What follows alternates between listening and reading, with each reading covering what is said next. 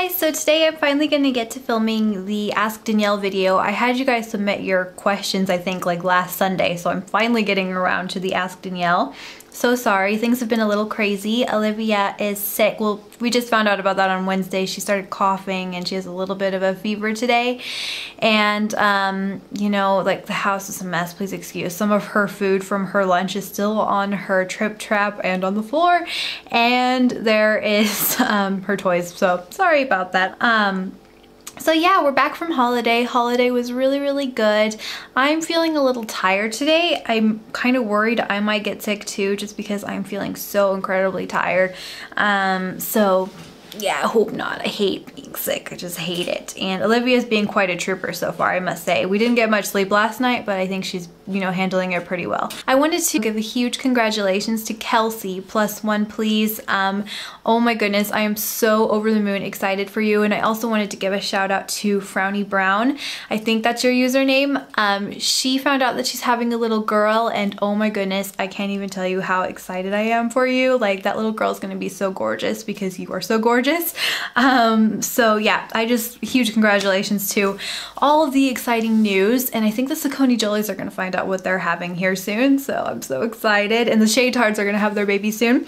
I'm not gonna lie guys, I am a little bit broody with all of this exciting news. You guys are all making me broody. So, okay, I'm gonna go ahead and get started on your guys' questions. Okay, this is by Josh and Cynthia Gomez. What are some names you have in mind for future kids? Um, I have a lot of names that I really like. I'll put a link right here to my favorite um, baby names at the moment. I filmed that video not too long ago. I don't know 100% sure what we're gonna name like our next our future children. Um, at the moment, I'm just gonna go ahead and share my favorite ones at the moment because my favorite names change so much. Um, at the moment, for a girl, I'm really liking the name Amira and the middle name Bell, so Amira Bell.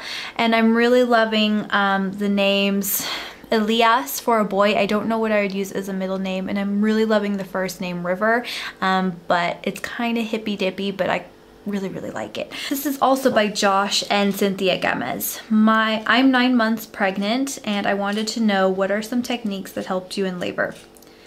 I think um, what helped me the most in labor was just kind of ignoring everything that I had practiced in my Bradley method. I studied the Bradley method before I was giving birth and that method is basically, um, you know, it's kind of controlling in a way I feel because the way that they describe how you should react to labor. They're kind of like, you really need to study this method and if you don't study this method, you are not going to have a natural labor. But I found that it was a little narrow-minded. Basically what they tell you to do is they tell you to basically lie down and relax when you have your contractions and if you're not relaxing you're not going to be able to get through them. I found that not to be true for me. Um, I think what's most important is that you just go with what works for you and what is your instinct. Um, for me the best thing for me was to stand up and um, swivel my hips when I was having contractions and I think that that's possibly why she was so easy to come out because I was kind of you know swiveling her down into my pelvis and and she was in perfect position. So I think just do whatever comes naturally to you. I think it's a good idea to take birthing classes to understand what's going on with your body and to learn different techniques. All right, this is by Maria Stella Bernadelli. Um, before you got your positive pregnancy test, did you have any signs and symptoms that made you think that you are pregnant? Yes, I did. And um, I think my biggest symptom was my nipples hurting really, really bad. I always get kind of tender nipples before I start my period, um, or I always did. I don't really anymore now that I'm breastfeeding. I don't really notice it, I guess. But um, it was a lot different. It was a lot more intense. Like even the pressure of the shower water was too much for me. And um, one time when we were in the mall, I was with my sister and my hubby and we were walking around and all of a sudden I got this like intense sharp pain that just surged through both of my nipples at the same time and it felt like somebody was like I don't know, poking my nipples with needles or something. It hurt really, really bad. Like I had to actually stop and like hold my boob and say ow.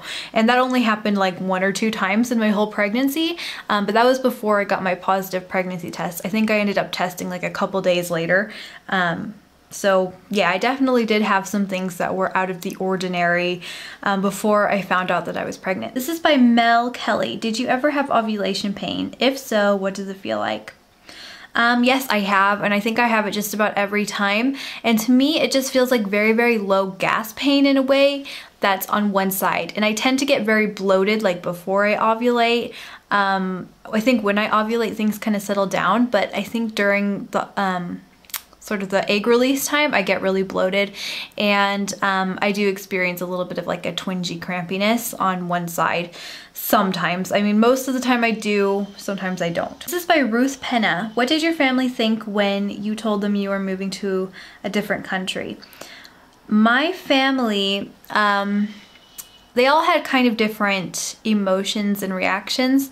Um, my sister had just had her baby three months prior um, to me saying I was leaving.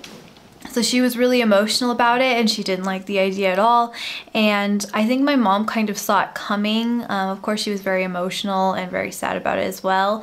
But I think she understood a little bit more about where we were coming from because she kind of knew how much we were struggling in San Francisco. So overall, I think most of my friends and family were just really kind of sad, but at the same time, just really hoping for the best for us. This is by Emily Ann Anita. I can't say your last name, I'm sorry. Um, did you ever find yourself getting upset seeing other infants reaching certain milestones before Olivia? If so, was it hard or easy for you to remind yourself that each baby grows and learns at your own pace? Any advice? No, I never ever, I think, got upset about seeing other children reach milestones before Olivia. Um, I actually studied child development. I took a couple of courses when I was in college and I'm pretty aware of like when all the steps and stages happen and I realize that all children are so incredibly different and develop at their own pace and I've babysat so many children in the past um, so I never got upset over it. Plus Olivia was always pretty much doing things either textbook or a little bit before um, they said she would be doing it for that week. This is by Ashley is TTC. Do you plan on using the Diva Cup while TTC again? No, we don't. When we do start TTC, it's going to be a pretty easygoing approach. This is by Kata Kuta Cat. Um, when TTC number two, are you going to be using ovulation test charting closely? No, we are going to do very easygoing. Um, do you wear foundation and if so, which one? No, I don't wear foundation and I don't really like wearing foundation. So um, Another thing about the TTC I wanted to say is that I do take ovulation tests at the moment. I think a lot of you guys get confused on Facebook when I say like, oh, I got a positive ovulation test. I think a lot of you guys are confused that we're TTC, but I actually take them um, to prevent pregnancy right now. So um, that's kind of why I take them. Plus I'm just kind of obsessed with peeing on sticks and I love like knowing exactly what my body's doing. So I like to take ovulation tests still. But when we are TTC, I wanted to keep it pretty easygoing. Um, um, at least that's the plan. So, all right, that's about it. And I'll talk to you guys in my next video. Bye.